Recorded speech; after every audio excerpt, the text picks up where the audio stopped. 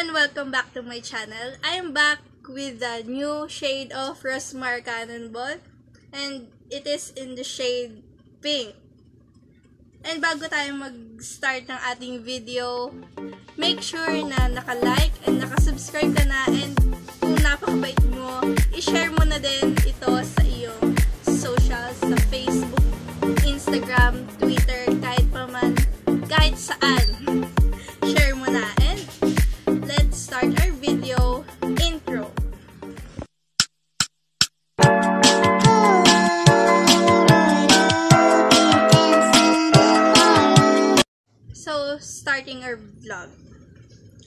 yung, ano, fourth shade ng Rosmar Cotton Ball. And ito yung pwede natin gamitin para sa mga aking ah, kaeskwela, sa mga estudyante din. Ito yung pwede natin gamitin kasi ito yung hindi masyadong pansinin na shade. Kasi pink nga lang siya and napakalamlam niya lang. Pero sa lamlam na yun, pigmented pa rin siya. Ay, yung nagmamiyaw po si Shifu yun. Shifu. Shifu. Ayan. Ito nga siya. Tignan nga natin. Ayan po siya. Ganun pa rin. Hindi pa siya masyadong gamit. Ayan. Punong-puno pa rin ng product. And sulit na sulit yung pinambayad mo dito. 99 pesos. Akalain mo yun, sa 99 pesos mo, makakahanap ka na ng ganito kagandang product. And iswatch na natin siya. One swipe. Hindi pa masyadong madiin yan. Ayan, tignan natin dyan. Mm. Masyadong, ayan, ang ganda, ba?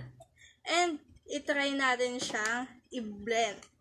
Kung pwede din siyang, katulad siya, kung katulad siya ng brunette na pwedeng i-blush. Ayan. Hmm, napaka, ano niya din, no?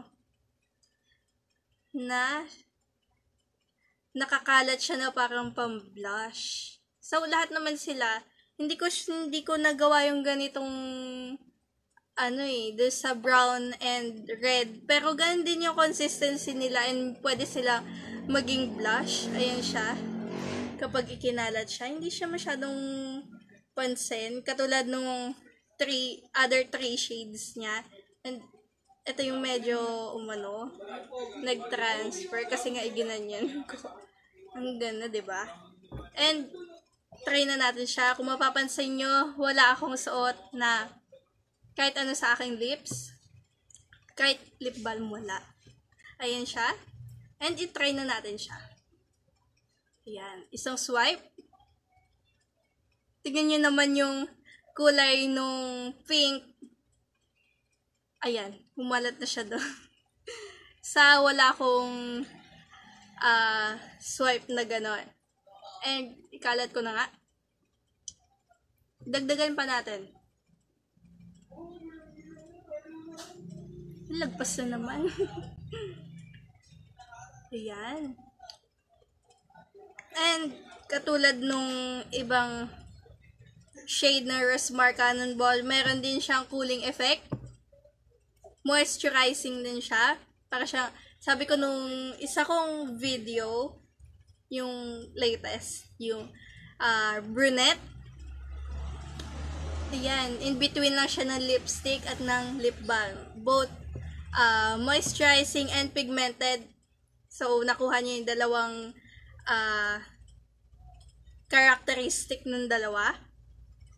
Ayan, and that's good. Napakaganda. Kaya ano pang iniintay mo?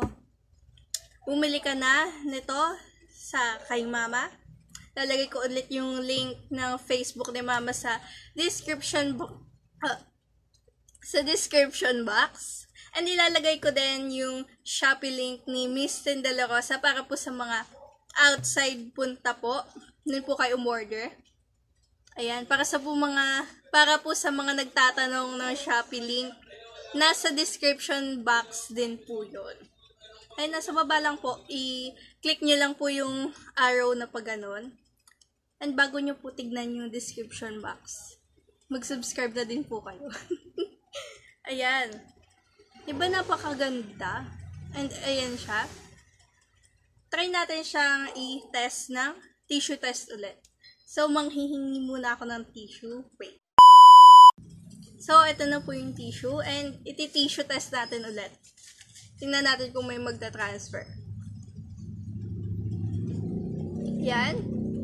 Ayun yung nag-transfer. Hindi pa nagsiset. Pero, may stain na naman siya. Napaka-ikling time pero nag-stain and nagsiset na yung product. Ayan. So, kung ayaw mo ng medyo glossy yung labi mo, try, um, try mo siyang iganitong tissue. Para parang matte. Pero, ganun pa rin yung kulay niya, di ba? Napakaganda.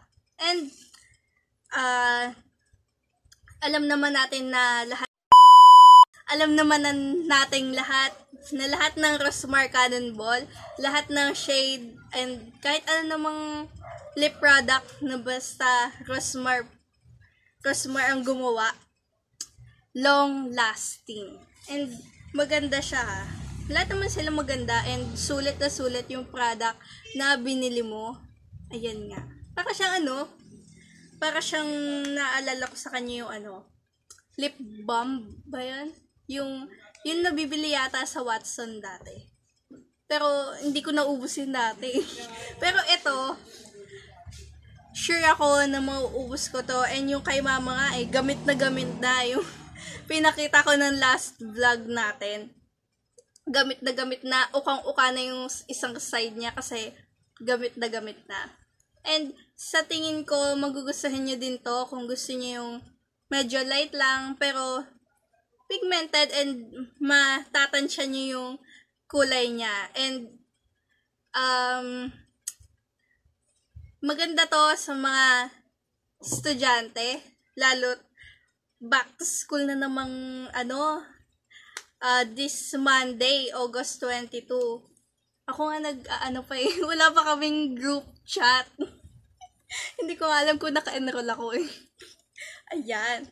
And kidding aside, sana nagustuhan nyo ang uh, review ko sa Rosmar Cannonball in the shade of pink. And kung hindi nyo pa na-check yung iba kong uh, vlog or review sa other shade ng Rosmar Cannonball, yung Rosmar Cannonball na red, brown, and punit, ilalagay ko yung link sa description box and magkikita tayo sa next vlog ko. And sana nanonood ka pa rin and i-flash ko ulit yung mga available products na on hand pa namin. So,